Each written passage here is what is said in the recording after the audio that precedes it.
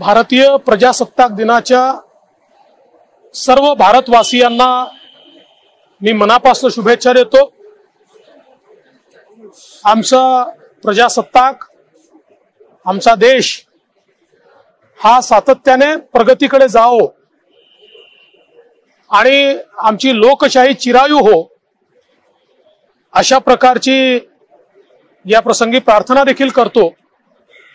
आणि माननीय मोदीजींच्या नेतृत्वात ज्या प्रकारे देश पुढे चाललेला आहे मला विश्वास आहे की शेवटच्या माणसाचा विचार करणारं हे सरकार या ठिकाणी निश्चितपणे देशाला प्रगतीच्या वेगळ्या सोपानावर घेऊन जाईल. खरं म्हणजे ज्या टिपू सुलतानानं हिंदूंवर अनन्वित अत्याचार केले.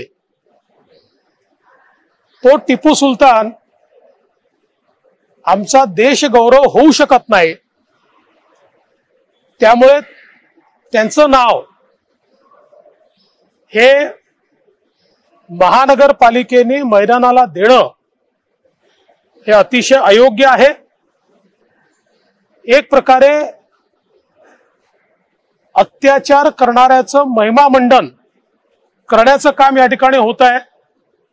आणि म्हणून अशा प्रकारचा हा जो काही निर्णय आहे तो रद्द केला पाहिजे. किरीट सोमय्यांना नोटीस बजावली त्या कर्मचाऱ्यांनाही कारणे दाखवा नोटीस बजावली. नाही, मी कालच या संदर्भात सांगितलेलं आहे की या सरकारचं डोकं फिरलेलं आहे. माननीय अण्णा हजारे यांच्या संघर्षानंतर माहितीचा अधिकार हा प्राप्त झाला आणि माहितीच्या अधिकारामध्ये कुठल्याही ऑफिसमध्ये रितसर जाऊन इन्स्पेक्शन करण्याचा अधिकार हा कुठल्याही सामान्य नागरिकाला आहे. तोच अधिकार बजावण्याकरता स्वतः किरीट सोमय्या त्या ठिकाणी गेले होते ऑफिशियली गेले होते. डॉक्युमेंटचं इन्स्पेक्शन करताना खुर्चीवर बसणं हा देखील अधिकार आहे. हे सरकारी ऑफिस आहे कोणाच्या बापाच्या मालकीचं ऑफिस नाही आहे मी जाणीवपूर्वक बापाच्या मालकीचं ऑफिसने असा शब्द वापरतोय कारण ज्या प्रकारे या ठिकाणी नोटिसेस दिल्या जात आहेत जणू काही खाजगी मालमत्ता आहे अशा प्रकारे या नोटिसेस देण्याचं काम चाललेलं आहे म्हणून मी इतके कडक शब्द या ठिकाणी वापरतोय.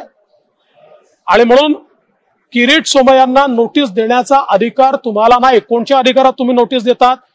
आणि जे छायाचित्र त्या ठिकाणी प्रसिद्ध झालेलं आहे ते नेमकं कोणी काढलं हे तिथल्या सीसीटीव्ही कॅमेऱ्यात आलेलं आहे आणि ज्यांनी काढलं आहे तेच तक्रारदार आहेत.